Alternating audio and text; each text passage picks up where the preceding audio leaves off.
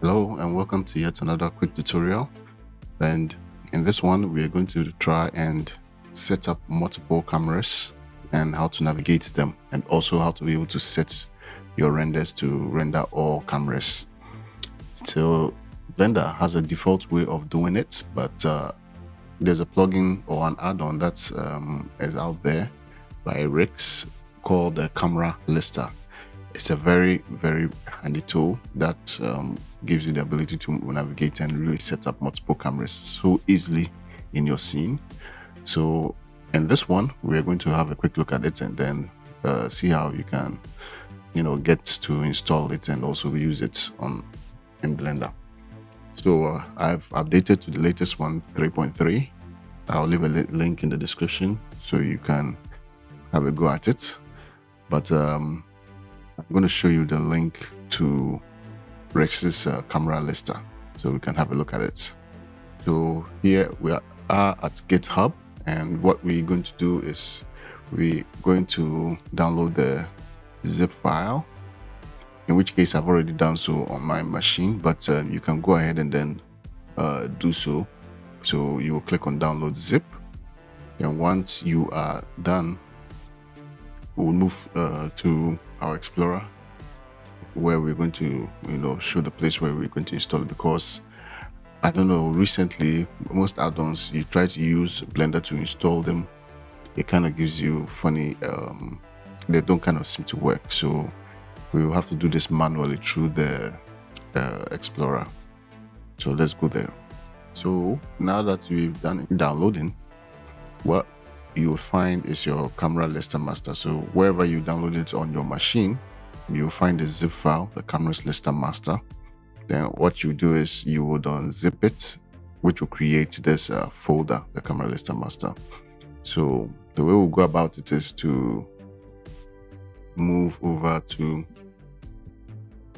our program files, find in Blender Foundation, Blender 3.3, go to 3.3 then scripts and we'll dump it into the add-ons add-ons folder over here. So what we'll just do is just quickly um, pick it up from our documents. Let me just quickly uh, load it from where I normally download my add-ons. So I'll just pick camera lister master.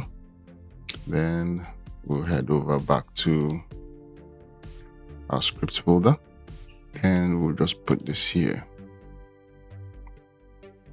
So now that that is done we will switch back over to blender. to install this. So we are back at blender and we are going to try and install the plugin one more time. So i'll head over to my preferences and what we are going to do is we're going to search out for the camera lister so if you do not find it over here now that we've copied it onto our folder over there what we're going to do is now we will come to install and we'll pick the file in which case we're just going to pick it from the place where I just added the the I downloaded it so it was linked directly to it. So I'll just click on install add-on. So we'll give it a moment. Now it shows camera lister. So what we do is we just enable it and we are good to go. Now to activate the plugin the way we go about it is to hit alt c. Now you're given this dialog box with some few options in here which we'll go over quickly. So as you hover your mouse over it, where we get here is render active scene, render active scene. With this, I think you're going to render this as an animation. Then you want to preview or show hide your render view. And also when you want to render or set your render region. These two, Eevee and Cycles will be a render engine that you would want to um, use. So if you want to render in Eevee you can just set it here and if you want to render in cycles you just set it here so when we head over to you see cycle selected come back to alt c. Once we hit Eevee, it changes to Eevee. so the way we're going to do this is let's say for example we want to set up our camera at the entrance over here. Let's say so maybe I'll put my camera in here. What I'll do is just select Alt C add camera to view and instantly we have a camera set up. So when we have a look at our layers camera 2 is set up. There's an already existing camera within it. So maybe we just push this into the collection just so we can keep everything neatly. So we have camera 2 so let me just select that. So whatever um, cameras we add will come directly to our collection so we have a camera here. So i can go ahead and then select this camera and then change certain properties to just give it a bit of view. Then whatever settings you can do you can have this camera set up over here. So let's say i want to also stand by this door and maybe put a camera in here. So i'll hit my alt c add camera to view we have our third camera. Change my focal length.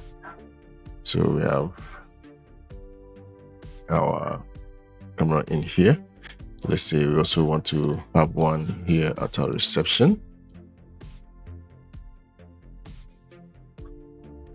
So again i'll hit alt c add camera to view. Maybe change this mm, to much more wider. Okay let me go 15 okay so let me just add my roof so that it goes in here. So if you want to switch in between multiple uh, within the multiple cameras all you do is just hit let me just come out here. Now that's I'm out of the camera view if you realize when I hit the Alt C, it didn't give me the options. I have to be outside of the camera to be able to have access to them. So now we have all these cameras in here. So if I want to switch to the first camera, which is the one that was already in the scene, which is the first camera, you just click on it and it moves you, which was the top view. So if I want to, I just come out again, Alt C, hit the second camera, and I'm over there. If I also want to access the others, I come over to Alt C and I'm in here. So that is how you want to quickly be able to set up your cameras. So whichever angles you have, depending on your project, you can set up as many uh, cameras that you would want in your scene. Now, we have set up our camera now let's say we want to render all individual cameras, but at one go. Blender has a way of doing it by adding markers to your timeline and on on, on frames and then setting or binding your cameras to those uh, specific frames for each of the cameras which um, yeah it's handy but this plugin makes it a step much more easier so what we're going to do is we're going to switch to our timeline and let me pull that up here. We'll delete this keyframe. So we have a total of we will ignore the first camera but let's just play around with the three cameras over here. We're going to bind each of these cameras to let's say three frames. So the first one will be the for the first camera second camera and for the first camera the second frame for the second camera the third frame for the last camera or the third camera so depending on how many cameras you want to set up, you can go as many as you would want to do or whichever ways you'd want your animation to play. So maybe from frame 1 to 20 should be on camera 1. Then maybe from 21 to 40 or 60 should be camera 2. So that is when you are working on animations. You can actually bind them to these uh, frames. But for the purposes of our tutorial, we're just going to bind them per each frame over here. So what we're going to do is we are going to switch over to our plugin. Then the way to do so is just clicking on this icon here bind camera marker. So what is done is it sets up the camera in frame one. We come to frame two. We will do so again. And would bind the second one to that camera. And then lastly we will go to frame 3 alt C then bind the, this camera. So if we have a zoom in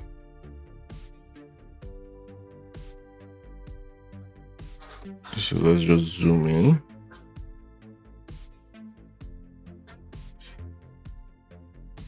So we zoom in. So each of the frames that we have we have a camera assigned to it. So let's say we are to head into our camera view. Let's switch over to our camera view. This is frame two. Now frame one frame two and frame three so what this will give us the option to do is that we can render only these three frames and you will have each of them render out for the camera, which we're going to do right away. And I'll pause the video so that the computer can take its time to just render these scenes out. And we'll be back soon with them. But yeah, I mean, we'll just go ahead and then just do the setup for the animation itself. So we'll set the frame start at one and the end frame at three camera is at 1920 let me check my okay i'll set it up to render in cycles.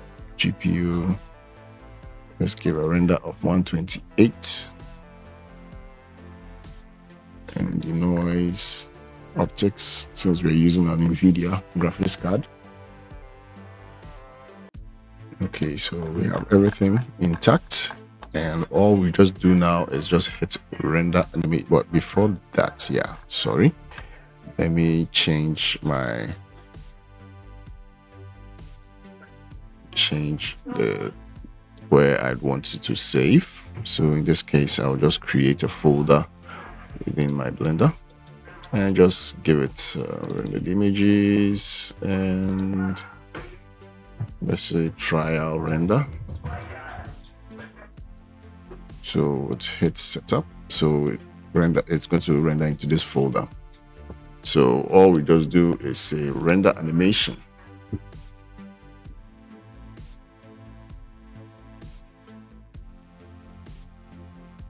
So we're going to give it some bit of time and let it render and then we'll be done soon. So we have our renders finally done.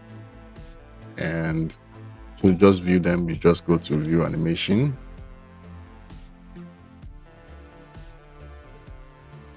And there we have it, all three animations uh, rendered or frames rendered. So uh, this is a very, very powerful tool and it helps uh, be able to streamline a lot of uh, camera issues that's if you are dealing with multiple cameras within your scene. And this is very helpful if maybe you want to maintain your view but then make changes to your scene such that you won't uh, have to um, be always be fidgeting with the camera. This is a very handy tool that you can use. It also gives you a lot of abilities to make use of when you are doing animations also. So this is a quick um, overview of a very handy uh, add-on I will leave the link in the description so you can have a go at it. This has been a very uh, wonderful, wonderful quick uh, guide on the Camera Lister add-on. Thank you, Ryxx. You can find him on blenderartist.org. We've created a very powerful tool that will help us to work on our scenes a bit more efficiently. So I'll catch you in the next one. Bye.